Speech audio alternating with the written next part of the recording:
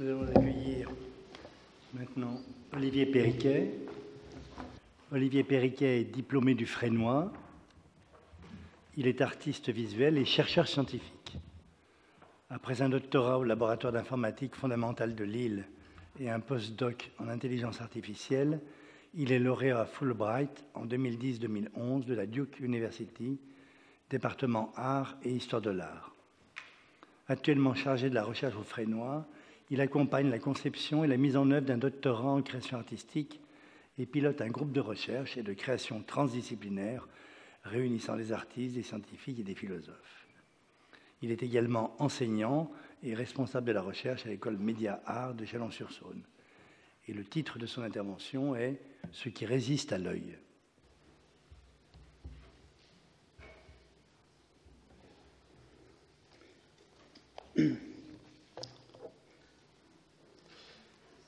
Alors bonjour à toutes et à tous. Effectivement, comme l'a rappelé Jean-Claude Conessa, euh, avant d'être artiste, je suis à l'origine chercheur scientifique. J'ai fait des recherches en algorithmique appliquées à la génétique. J'ai principalement travaillé sur euh, la prédiction de la structure des ARN et des protéines. J'ai l'habitude de dire que la science est ma langue maternelle, en quelque sorte.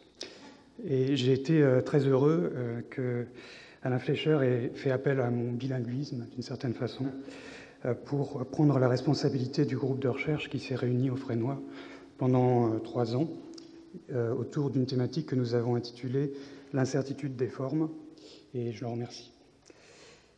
Au sein du groupe, j'ai eu l'occasion de collaborer avec Jean-Paul Delahaye, qui a présenté ce matin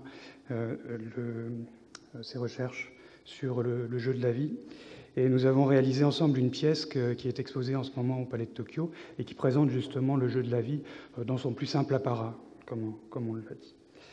Euh, mais chez moi, la rencontre entre l'art et la science se passe de façon intime également, de façon endogène, si je voulais utiliser une terminologie scientifique.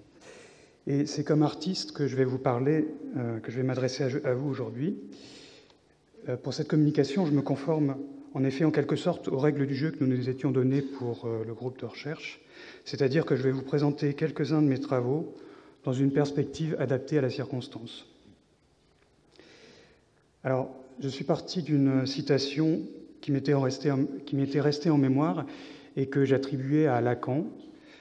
Euh, le réel, c'est ce qui résiste.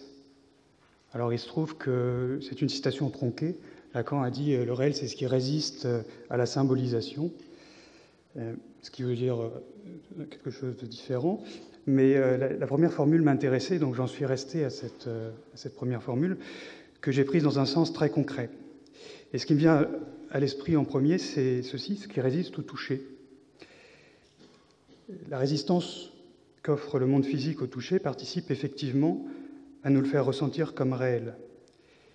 Mais il existe par ailleurs beaucoup de choses qui sont accessibles à la vue et inaccessibles au toucher, en particulier lorsque la vue est médiatisée par des appareils de vision comme le microscope, le télescope, la caméra, l'imagerie au rayon X ou en résonance magnétique nucléaire, par exemple. Et je me suis donc laissé habiter par cette idée pour vous présenter plusieurs des travaux que j'ai réalisés. Donc je ne vais pas réellement déployer un argumentaire comme je le ferais si je m'adressais à vous comme un philosophe ou comme un théoricien, mais je vais plutôt, en vous exposant certaines de mes réalisations, proposer des formes qui, par certains aspects, répondent en acte en mettant en œuvre des stratégies de résistance à l'œil.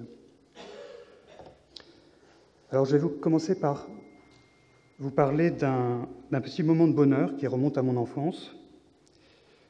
Lorsque j'étais enfant, j'étais passionné d'astronomie et je me souviens en particulier de la première fois où j'ai observé la planète Jupiter je l'observais avec un petit télescope que je m'étais construit. Ça ressemblait à peu près à ça.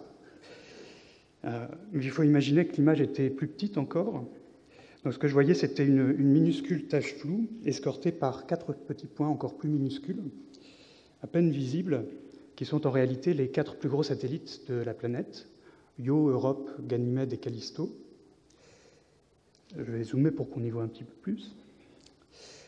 Quand je regardais d'heure en heure, la position des satellites avait changé. il faut, également imaginer que l'image était sans cesse en train de sortir du, champ de vision à cause du mouvement de rotation de la Terre amplifié par la lunette, et que cette image était floue, instable, incertaine, palote, euh, sujette aux perturbations causées par les turbulences de l'atmosphère terrestre. Cette image était en tout cas loin de ressembler aux images que nous connaissons tous et que je trouvais dans les revues d'astronomie, mais elle me fascinait plus car je l'observais par moi-même et j'avais la preuve intime qu'elle existait. Alors à cette époque, je ne savais pas que je rejouais dans l'intimité de mon enfance un épisode historique, car l'inventeur de la lunette que j'avais construite dans mon garage avait fait les mêmes observations que moi euh, quelques siècles plus tôt. Et plus tard, j'ai pu réaliser que les adultes eux-mêmes euh, étaient animés par les mêmes rêves. En 1996, je devais avoir à peu près une vingtaine d'années, et voilà ce qu'on connaissait de la planète Pluton. C'est seulement il y a deux ans qu'on a eu des, des, images en très haute résolution. Et pour ceux qui seraient déçus de ne plus pouvoir rêver, voici la meilleure image qu'on possède des exoplanètes.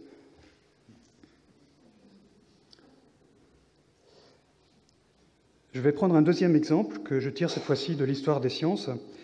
Il s'agit d'un cliché resté célèbre sous le nom de photographie numéro 51. Ce cliché a été pris en 1952 par Rosalind Franklin et son assistant après plusieurs dizaines d'heures de travail. Il représente une des conformations de la structure en double hélice de l'ADN obtenue par diffraction au rayon X. À cette époque, plusieurs équipes de recherche étaient en compétition pour trouver la structure de la molécule d'ADN, et c'est ce cliché communiqué à James Watson et à Francis Crick, à l'insu de Rosalind Franklin, qui attendait d'avoir finalisé ses expériences pour publier, qui a permis à Watson et à Crick de gagner cette compétition en proposant le bon modèle pour l'ADN et de remporter ainsi le prix Nobel. Au dire de Watson, à la vue de cette photographie qui leur a révélé la structure, il est resté bouche bée et son cœur s'est mis à battre la chamade. Le cliché 51 est une image qui objectivement n'a rien de spectaculaire et qui est pourtant d'une importance capitale pour celui ou celle qui sait la déchiffrer. Cette image m'intéresse comme la précédente car elle est emblématique du fait que l'information et le désir se situent avant tout du côté de celui ou de celle qui regarde. Et également par le contraste qui existe entre l'émotion que peut susciter cette image et son caractère pourtant assez banal. Les images en haute définition obtenues par les outils technoscientifiques sont souvent séduisantes, mais ne résistent pas toujours à l'œil. L'installation Close Encounters of the Remote Kind, qui est exposée en ce moment au Palais de Tokyo, s'inspire de ce type d'image. Son titre pourrait se traduire littéralement par Rencontre rapprochée de type lointain. Elle se présente comme une grande image projetée au sol, où l'on voit apparaître des taches noires qu'on ne reconnaît pas immédiatement. J'en montre ici un très bref extrait pour en donner une idée, mais je vous invite bien sûr à la voir sur le site de l'exposition.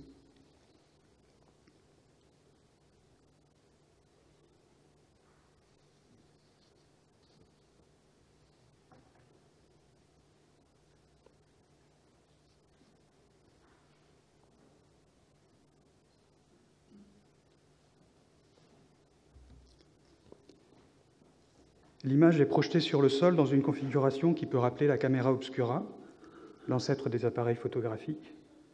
En général, elle est directement projetée sur le sol, et même parfois dans l'eau, comme ici euh, dans une exposition à Rio.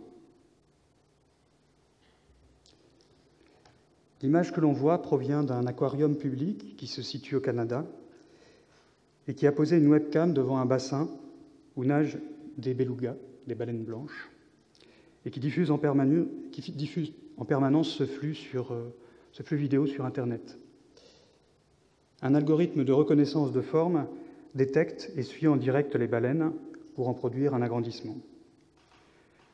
La portion d'image qui est agrandie et qui n'est parfois constituée que de quelques pixels se déforme constamment.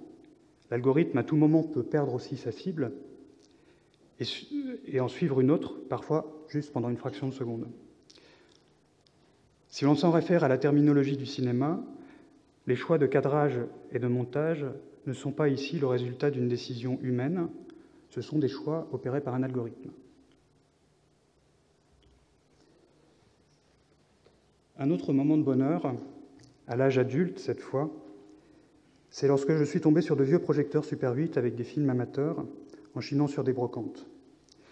J'ai commencé à les collecter, à jouer chez moi ces souvenirs anonymes, et aussi à transformer les projecteurs et à construire des machines de projection de toutes pièces.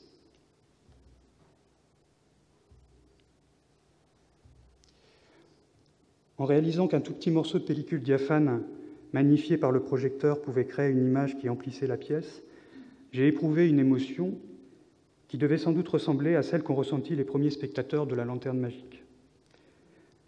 C'est ce moment qui a plus ou moins coïncidé avec le début de ma pratique artistique.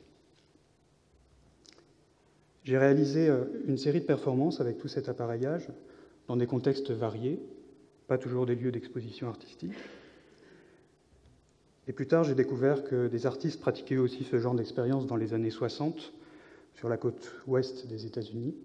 Ici, un groupe de cinéma psychédélique au nom de Oiseau turquoise à une seule aile.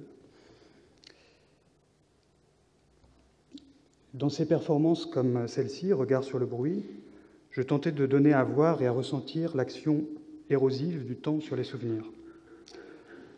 Lorsqu'on cherche un souvenir par la mémoire, les images fusionnent et n'apparaissent pas immédiatement, pas clairement. Et je cherchais une forme qui pouvait, une forme qui pouvait rendre directement compte de ces processus de surgissement du souvenir. Les images sont extraites de films Super 8 et additionnées à l'écran jusqu'à obtenir un bruit visuel, donnant une matière presque palpable avec les yeux. Les signifiés des images sont refondus par leur addition en un signifié plus plastique, et le résultat n'est pas un film au sens classique du terme, mais une expérience visuelle qui utilise, les matériaux et l'appareillage technique du cinéma. Les scènes sont quelconques, les films sont même parfois choisis au hasard.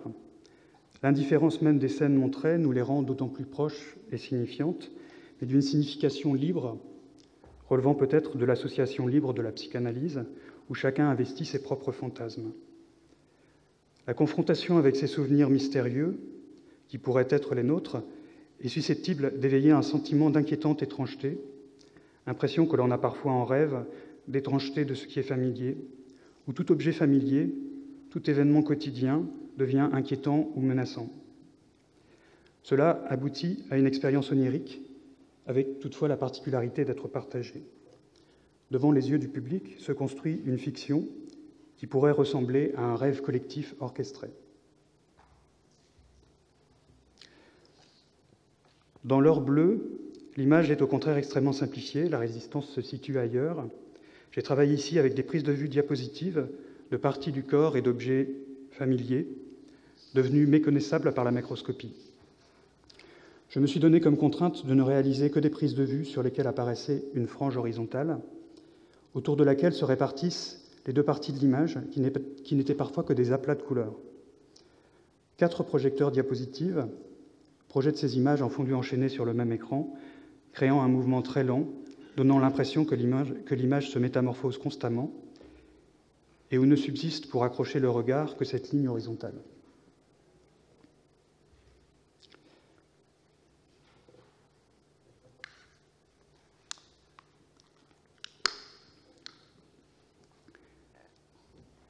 Je fais maintenant un saut temporel dans le présent. Et l'installation que j'ai appelée Imagine Unai tire son titre d'une citation de Stan Brakhage, qui est, une des grandes figures du cinéma underground américain des années 60 et également du cinéma expérimental en général. La voici. Imaginez un œil qui ne soit pas gouverné par les lois artificielles de la perspective, un œil vierge de tout principe de composition, un œil qui ne cherche pas le nom des choses, mais qui doit reconnaître chaque objet qu'il rencontre au travers d'une aventure de la perception. L'aventure, pardon, l'installation se présente comme une fiction futuriste où un œil artificiel observerait des formes, tentant de déterminer si ce sont bien des formes humaines. Je suis parti du test qui a été proposé par Alan Turing en 1950 dans un article qui fait référence en intelligence artificielle. Turing y propose une définition de l'intelligence artificielle sous la forme d'un protocole. Ce protocole s'inspire d'un jeu où il s'agit de deviner qui de son interlocuteur caché est un homme, qui est une femme. Une intelligence artificielle est intelligente au sens de Turing si un interrogateur, par un système de chat, est incapable de faire la différence entre une réponse humaine et une réponse artificielle. J'imaginais deux modifications à ce test. L'interrogateur serait lui-même une intelligence artificielle, et le test, plutôt que d'utiliser le langage et le canal assez restreint d'une interface de chat, serait un test de vision qui impliquerait le corps dans son intégralité. Je suis parti également d'une ambiguïté inattendue du langage, puisque le mot fitness est en anglais un terme technique de la théorie de l'évolution qui désigne la faculté qu'a un organisme de survivre dans un environnement donné.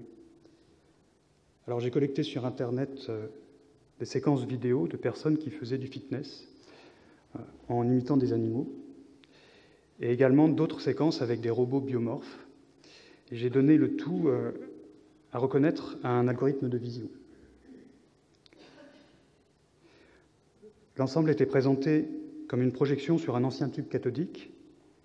Pour que l'image se forme bien sur le tube, j'ai dû corriger la myopie du projecteur avec une lentille.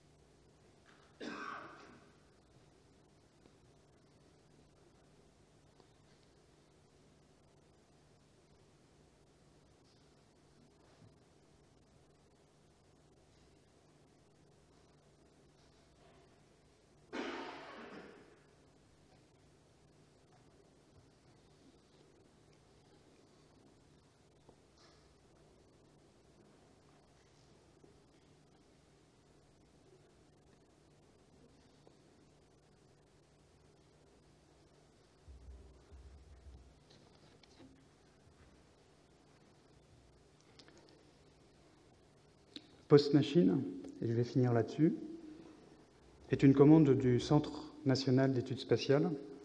C'est une installation pour laquelle j'ai travaillé à partir des images de plans de construction des fusées et des engins spatiaux. Je suis parti de l'idée qu'il y avait une certaine analogie formelle entre l'évolution des plans au cours du temps et celui des êtres vivants. À certains moments apparaissent des structures qui sont conservées dans les modèles suivants, mais qui peuvent tout aussi bien disparaître on retrouve cette idée d'une naturalisation de la technique chez certains philosophes et anthropologues comme Simondon ou le roi Gourand par exemple. J'y ai trouvé par ailleurs, comme chez les organismes vivants, des symétries caractéristiques, des symétries axiales, comme chez les mammifères par exemple, ou des symétries radiales, comme chez les oursins. La symétrie radiale en particulier me rappelait euh, la symétrie qu'on trouve, la symétrie des astres, qui est pourtant résulte de forces tout à fait différentes. Partant de ces analogies, j'ai imaginé une fiction où les plans évolueraient seuls comme s'ils étaient mus par un déterminisme interne, comme s'ils étaient eux-mêmes soumis aux mêmes forces que les corps célestes vers lesquels les engins qu'ils préfigurent vont plus tard se diriger. Ces plans apparaissent, se déforment, gonflent et tournoient comme des planètes qu'on approcherait depuis l'espace, puis s'évanouissent, créant parfois des trous béants dans l'image, laissant place au vide de l'espace intersidéral. L'installation est présentée sous la forme d'un dispositif qui pourrait ressembler à un banc optique ayant pris taille humaine, créant, à l'aide d'illusions d'optique, l'impression d'une image qui s'abstrait de sa matérialité pour se déployer directement dans l'espace d'exposition. J'utilise ici la technique du Paper's Ghost, qui a été popularisée au XIXe siècle et qui est employée dans des spectacles dans des concerts, euh, parfois des meetings politiques, pour faire apparaître des images fantomatiques similaires à des hologrammes. L'ensemble pourrait très bien ressembler au rêve d'un astronome qui se serait endormi à, sa table de travail après avoir veillé un peu trop tard. Je vais vous montrer un, extrait d'une ou deux minutes, et puis je vais finir là-dessus. je vous remercie.